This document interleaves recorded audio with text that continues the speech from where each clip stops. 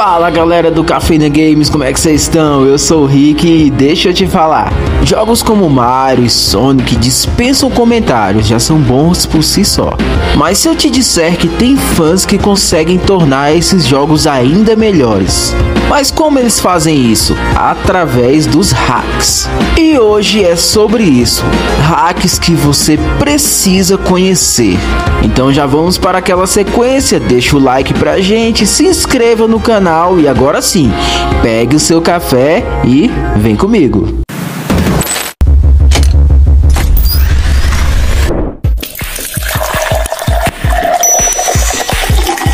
Mortal Kombat, além de ser conhecido por ser um dos melhores jogos de luta já lançados, também se destaca no quesito quantidade de personagens.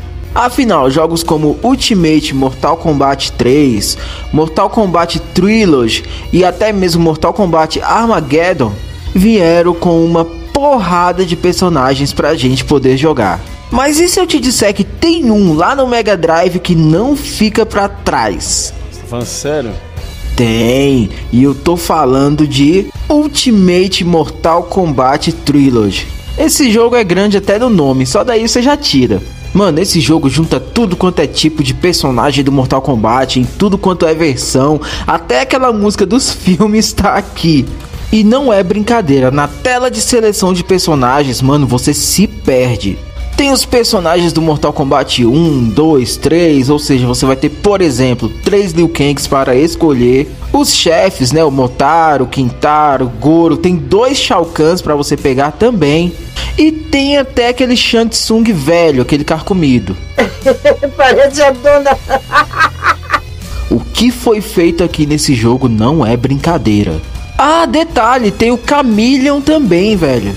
Aí eu falei que tinha dois Shao Kahns, pois bem, é o Shao Kahn do Mortal Kombat 2, aquele que te atira uma flecha, e o outro do Mortal Kombat 3 em diante, aquele que tem o martelo.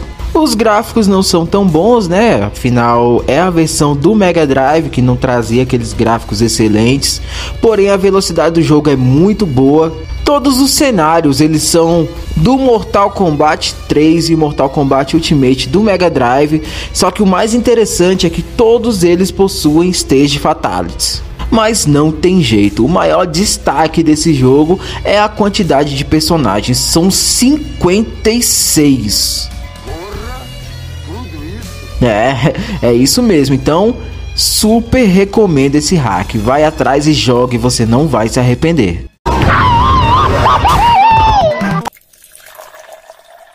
E esse próximo hack incrível se chama Super Mario A Plumber for All Seasons.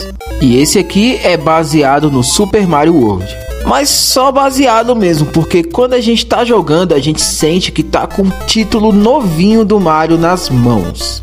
Isso porque esse jogo aqui traz novas músicas, um novo design também e mundos que representam diferentes estações, ou seja, o mundo da primavera, o mundo do outono, o mundo do inverno e também o mundo do verão.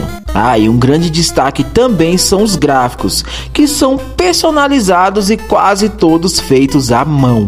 O desafio, a dificuldade, ele também chama a atenção da gente, já que o jogo é levemente mais difícil que o Super Mario World, mas nada que venha a estragar a jogatina, pode jogar de boa. E já que eu falei do Mario, agora eu vou falar do seu antigo rival, o Sonic.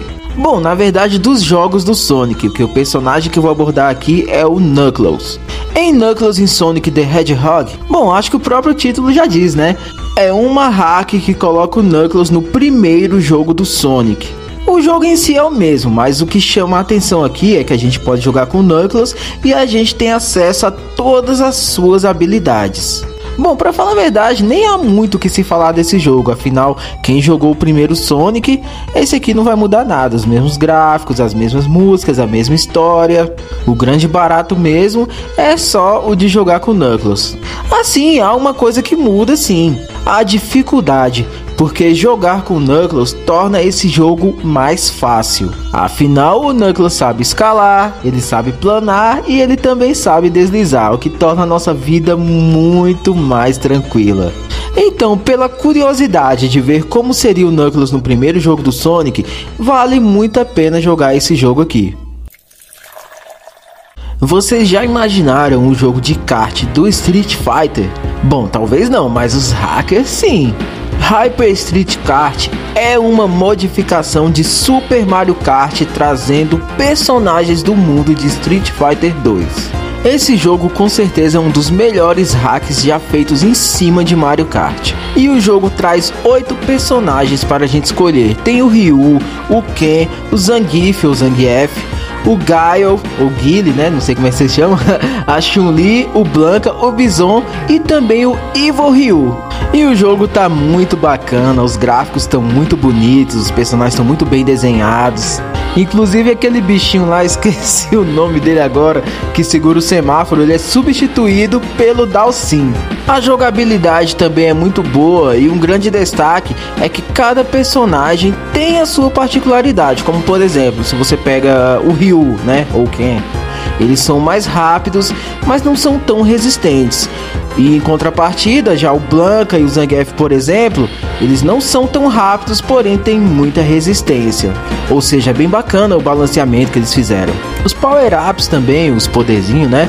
Eles foram alterados, pelo menos alguns foram alterados para esse jogo aqui, como por exemplo aqui o casco verde, ele se tornou um Hadouken.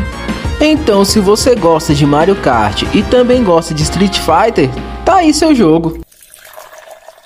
E para finalizar, eu trago para vocês uma modificação que rola em Saint Awakening.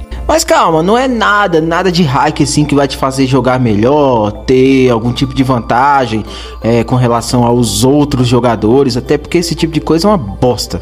E sim algo realmente muito bacana mesmo que é o fato de poder deixar o jogo dublado. É, mano, é exatamente isso que a equipe do COTS do BR consegue fazer pra gente, velho. Deixar a gente jogar o jogo dublado. Quem não queria? Mas e essa dublagem, essas vozes em português? Como é que é? Então, eles extraem as vozes daquele jogo Alma do Soldado, né, de Cavaleiro Zodíaco, e algumas vozes também do anime. E o resultado fica sensacional. Mas e personagens que nunca apareceram em nenhum anime, nenhum jogo, como é que faz? Ora essa, os caras têm a solução também. Por exemplo, o 13 terceiro Cavaleiro de Ouro, o Odisseus de Serpentário. Os caras chamaram para esse projeto o dublador Victor Roga. E o cara fez um trabalho excelente. Apesar de tudo, ainda é meu dever salvar as pessoas feridas e enfermas. Começando a operação. Ou seja, se o jogo já era bom, agora ele ficou ainda melhor. Então foi isso, galera. Muito obrigado mais uma vez pela presença de vocês aqui no nosso canal. E aí, qual desses hacks vocês gostaram mais? Deixa aí nos comentários que a gente lê todos. A gente vai gostar muito de saber a opinião de vocês. Ah, também não se esqueçam de dar o like no vídeo para o YouTube notar que a gente existe, compartilhar o nosso conteúdo e também se inscrever no canal para assim a gente poder estar tá sempre postando mais coisas para vocês. Eu vou ficando por aqui e até o próximo vídeo. Muito obrigado, galera. Valeu, até lá.